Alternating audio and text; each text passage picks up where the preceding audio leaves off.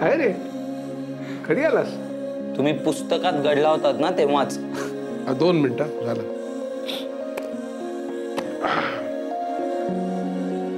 कसा आहेस? मस्त. कसं काय झाला? केतकीचा साखरपुडा? छान उत्तम. हा उत्तम तर होणारच होता रे. ज्या घरामध्ये गौरी सारखी सून आहे तिकडे सगळी कामं उत्तमच होणार. ती आहे कुठे? अजून त्याच गडबडीत आहे वाटतं. हो. तिला सांग क्लासला लवकर आहे तर अभ्यास बुडेल तिचा. आय गेस नेक्स्ट वीक पासन रेग्युलरली यायला लागतील त्या. बाबा केतूच्या साखरपुड्याला तुम्हाला बोलवावं असं खूप होतं माझ्या मनात.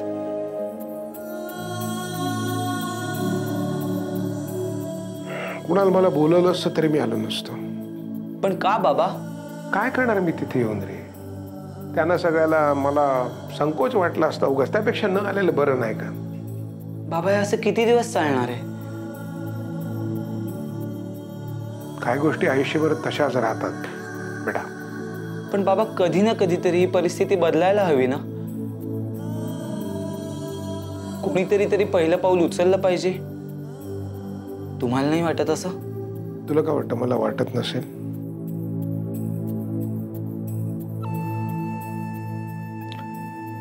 नाही कोणाला सगळ्याला आता खूप उशीर झालाय. नाही. बाबा कदाचित लहान तोंडी मोठा घास घेतोय. पण माणसाचा वृथा अहंकारच. चांगल्या नात्यांना सुंदर क्षणांना दूर सारतो. तो अहंकार बाजूला नाही ठेवता येणार आपल्याला? तुम्ही मला बोलतोयस? हे बघ कुणाल? अहंकार आणि आत्मसन्मान याच्यामध्ये फरक असतो. असेल ना? कदाचित फार अस्पष्ट रेषा असेल दोन्हीत. पण ती रेष जर आपण पुसून टाकली तर किती सुंदर छान होईल सगळं. पण नाही. पण पण परंतु जर तर. कुणाला आपण सगळे या जर तरच्या शाली पांघरून बसतो. आणि मग आपल्या हातात काहीच उरत नाही. आणि जर आपल्या हातात काहीच उरत नसेल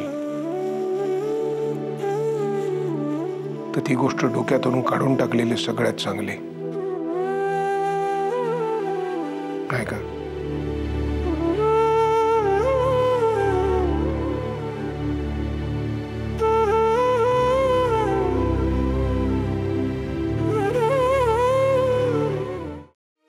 डॅड मी त्यांच्या मागावरच होते पण नेमक्याच त्या निसटल्या.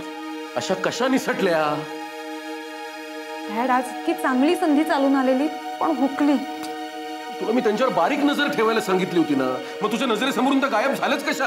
त्या इडियट रोहितमुळे. पाठला करत असताना तो माझ्या गाडी समोर आला.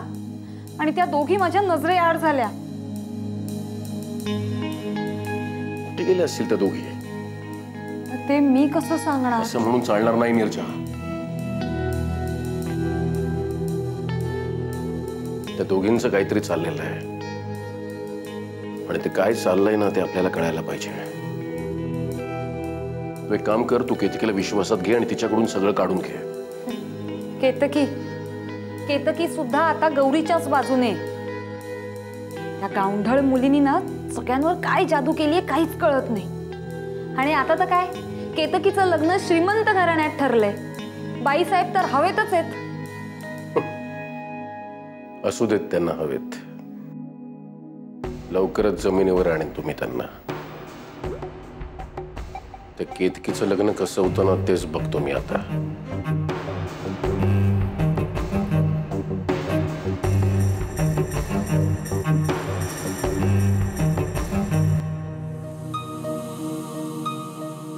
श तुमचा अंदाज खरा ठरला. गौरीचे फिंगरप्रिंट्स मॅच झाले.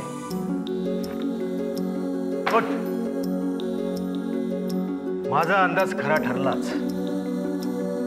गौरीने विशालवरती हल्ला केला. सर पण गौरी चेहऱ्यावरून फार साधी वाटते. पण तिने विशालसारख्या माणसावर हमला का केला असावा? शिंदे हे सुद्धा एक कोड आहे. पण सध्या तरी आपण कुठलाही तर्क मांडू शकत नाही. हा. आपल्या सगळ्या प्रश्नांची उत्तरं गौरी मोहितेच आपल्याला देऊ शकतात.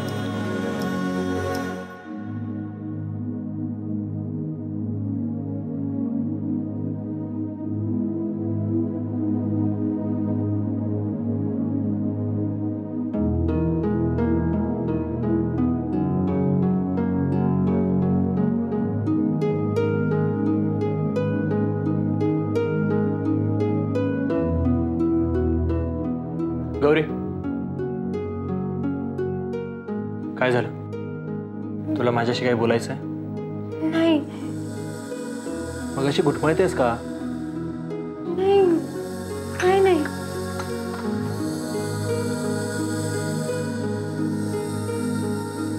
गौरी मला तुझी घालवेल समजते. मी उगाच तुझ्यावर संशय घेतला. ते नीरजासमोर. तोच विचार करतेस ना तू? गौरी मला स्वतःलाच माझ्या चुकीची लाज वाटते आता. आय एम सॉरी प्लीज नाही निखिलराव मी उगाच वाईट वाटून घेऊ नका. माझ्या मनात तसं काहीच नाहीये. गौरी मग मी मी बघतोय तुला. तू अगदी हरवल्यासारखी वाटतेस. काय झालं? सारखं सारखं मला असं का वाटतं की तुला माझ्याशी काहीतरी बोलायचं आहे पण तू बोलत नाहीयेस? बोल ना.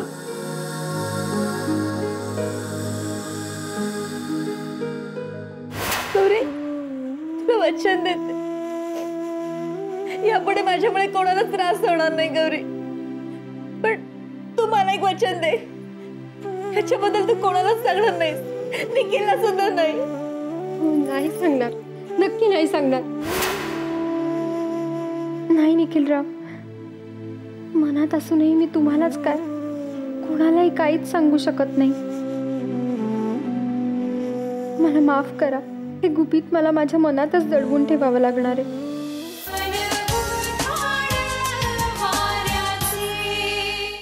खूप कमी वेळात भरभरून प्रेम दिलेल्या तुमच्या लाडका स्टार प्रवाह वाहिनीवरचे व्हिडिओज बघण्यासाठी सबस्क्राईब करा स्टार प्रवाह यूट्यूब चॅनलला